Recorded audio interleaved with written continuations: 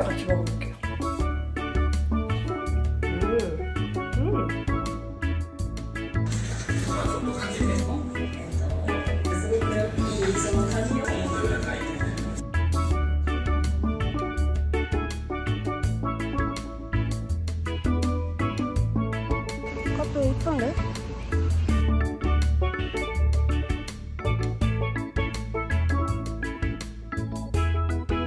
저녁이 되니 좀 더 아늑해진 오늘의 숙소. 이름은 타슈. 근데 이게 신기한 게한 시간은 무료래요. 뭐해 임마? 지난 묵고 여행에 이어서 이번에도 또 혼자 떠나보는 기차 여행이다. 이번에는 대전으로 향한다. 수서역에서 대전까지는 약 1시간. 나쁘지 않은 거리다. 이번에도 짐은 백팩 하나. 한 시간 동안 무엇을 해야 잘 보냈다고 소문이 날까? 눈을 굴려보지만 그저 창밖만 바라보는 입마다. 역에 앞서가는 열차와의 안전거리 유지를 위해 제시간보다 약 6분 늦게 도착합니다. 이번 열차가 조금 지연이 되었다. 70분 정도 걸려서 도착. 자, 이제 대전. 여기서 내가 할 것은 숙소 쪽으로 향하는 것이다. 신용카드로 찍히겠지? 대전역 지하철은 약간 김포공항역과 닮았었다. 피 100% 인간의 여행 계획은 이렇다.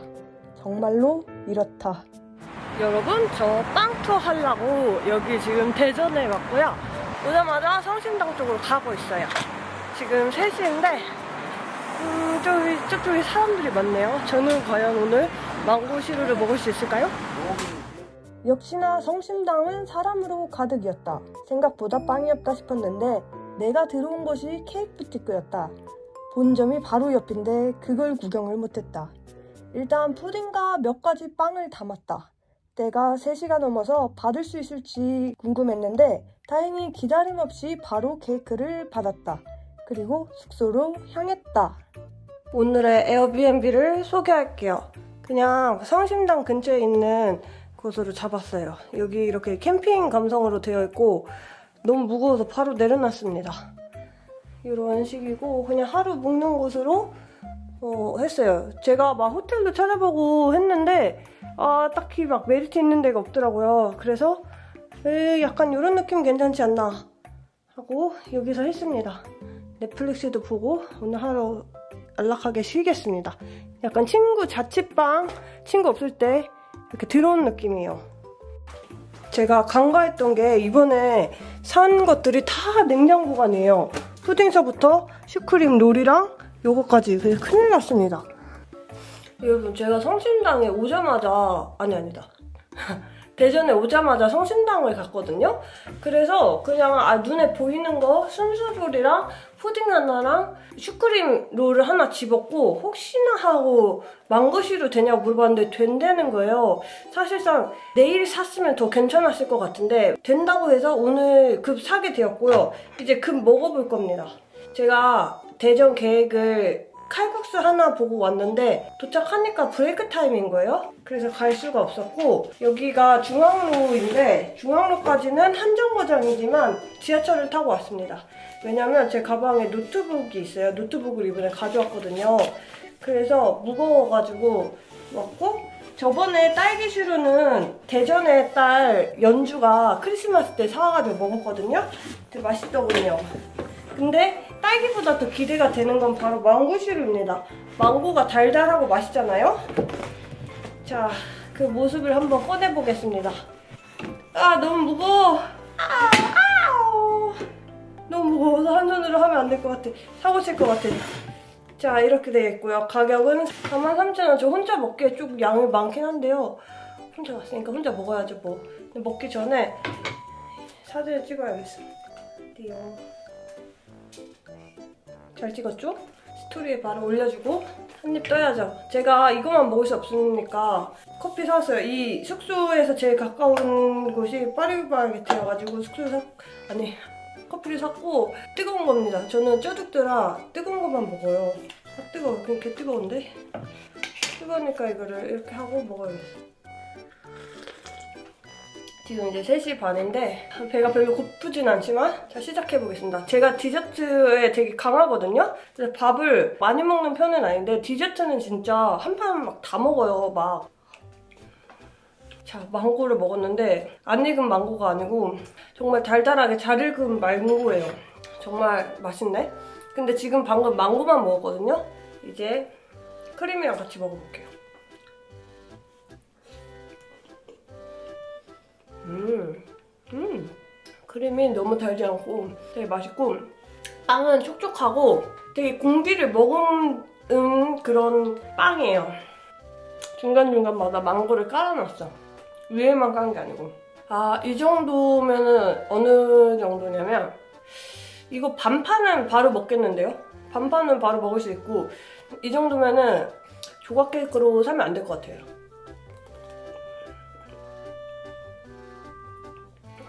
맛있어요. Wow. 제가 저번에 딸기 시루도 먹어봤다 했잖아요. 딸기 시루보다 더 맛있어요. 딸기 시루는 조금 너무 달다 이런 느낌이었는데 사실 망고는 이게 더 달거든요. 근데 그게 빵이 달았었는데 이거는 빵에서 그런 단맛은 없고 망고가 달아요. 그래서 저는 이게 더 맛있는데요. 음. 근데 좀 이따 나가서 그 냉동팩 같은 거 사올까 봐요. 그거를 가져오려고 생각은 했었는데 아예 까먹고 있었어요. 그 냉동 박스 같은 거. 근데 냉동 박스 딱딱한 거 말고 가방 있잖아요. 그 집에 많은데 챙겨올 걸. 아쉽네. 아! 보입니까? 엄청나게 파먹어가지고 지금 순식간에 사라지고 있어요. 거의 입에서 녹고 있고 굉장히 디저트는 빠른 속도로 먹고 있다. 일단 여러분 저 한 큐에 반 정도 먹었어요. 대단했죠? 이제 배가 조금 불렀거든요. 쉬겠습니다. 여기에 이 TV가 있는데 뭐 볼까요? 이 알고리즘은 제 것이 아닙니다.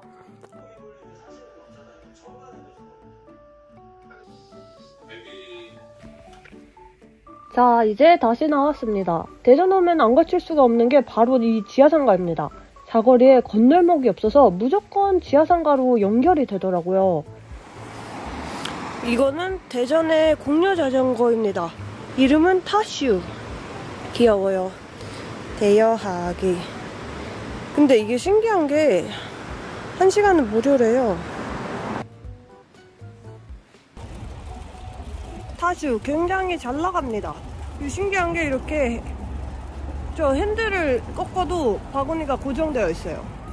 대전 노젠조시라고 들었는데 우선 제가 만난 대전은 젊고 활기 넘치는 도시였어요. 의정부 시내랑도 느낌이 비슷했고요. 대전 돌고 있는데 날씨가 좋아졌어요. 여기에 거대한 달이 있고요. 하천이 이렇게 있네요. 중앙로를 지나서 대전역 쪽으로 가고 있습니다. 엄청 하천 잘 해놨어. 날씨가 좋아서 예뻐 보이네요. 저쪽으로는 중앙시장 있고 여기 옆으로는 저렇게 다리가 있어요. 다리가 약간 신기한 모양이야. 저 김허 칼국수 왔어요.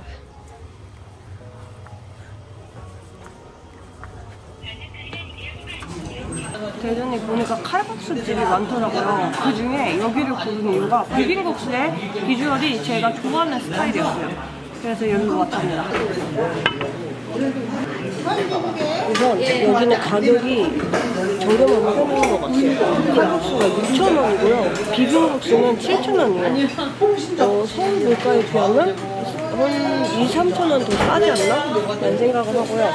이게 양이 많다는 얘기를 들었는데 양이 많긴 합니다. 야채도 올려져 있고 이렇게 기본 반찬으로는 김치랑 단무지랑 죽이 나와요.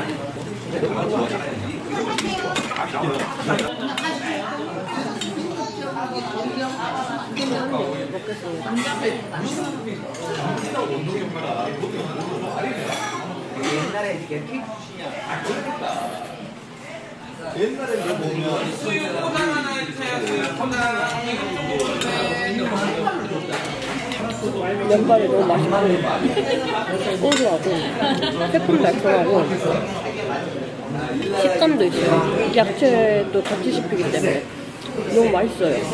접지가 천색이야. 그 규정이 여기 육수도 주셨는데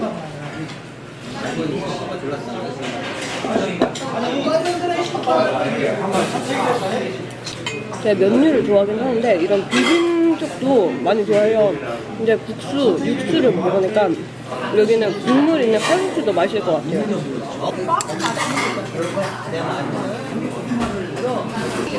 완 그릇 했습니다. 정말 맛있게 먹었어요. 최고입니다.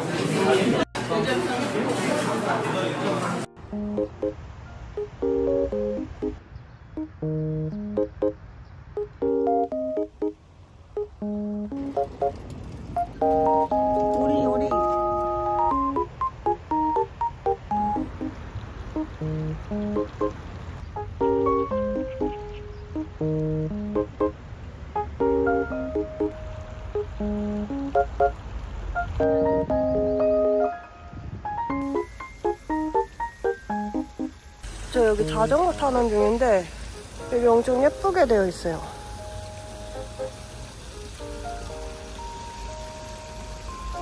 제가 자전거 타는 중에 빈티지 샵을 발견해서 한번 구경 가볼게요.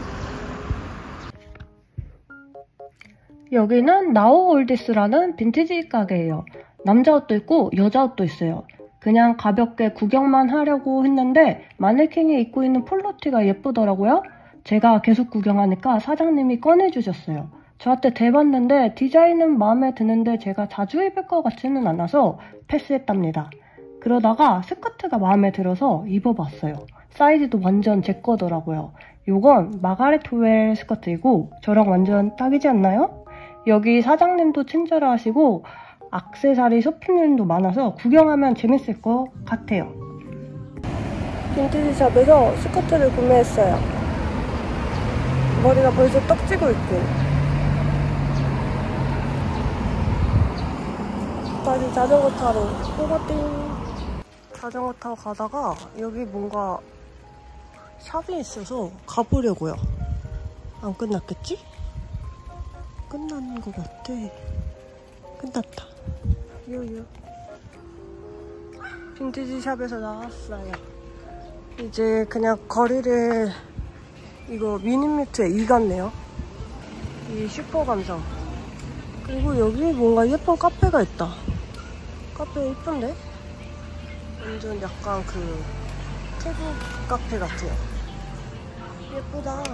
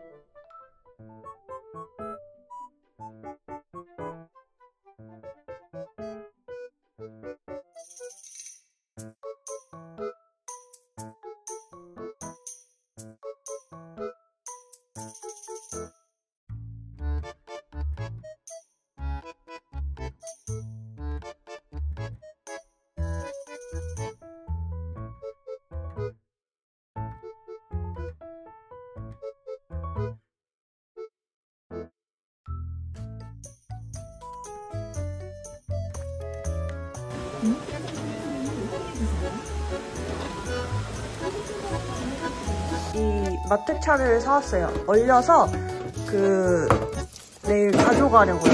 이렇게 놓고 올리고 이거를 담아서 가져가면 되겠죠. 저 얼음통이랑 같이 똑똑했죠? 이제 저녁에 들어왔습니다. 저녁이 되니 좀 더 아늑해진 오늘의 숙소. 이렇게 자취방을 꾸미는 것도 분위기 있네요. 이렇게 지금 돌아온 시간은 8시 37분이고 TV도 보고 편집도 하려고요. 지금은 씻고 나온 참입니다. 팩을 붙였고요. 아, 유튜브를 팩 할 때까지 하다가 팩 떼면서 편집하려고요.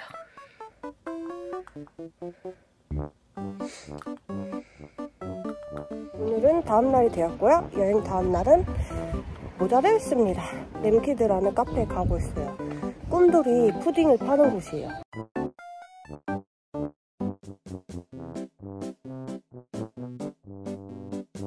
꿈돌이 푸딩을 먹으러 여기 램키드라는 카페에 왔고요. 자전거 타서 너무 더워서 아이스를 시켰어요.